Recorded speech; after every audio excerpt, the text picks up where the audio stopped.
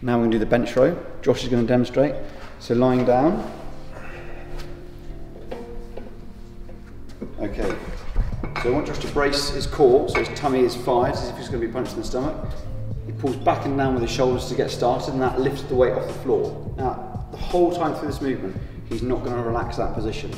It's ne never going to touch the floor. It's going to go from there up. So off we go. Pull up and down. So just holding for like a one Mississippi hold at the top of each one.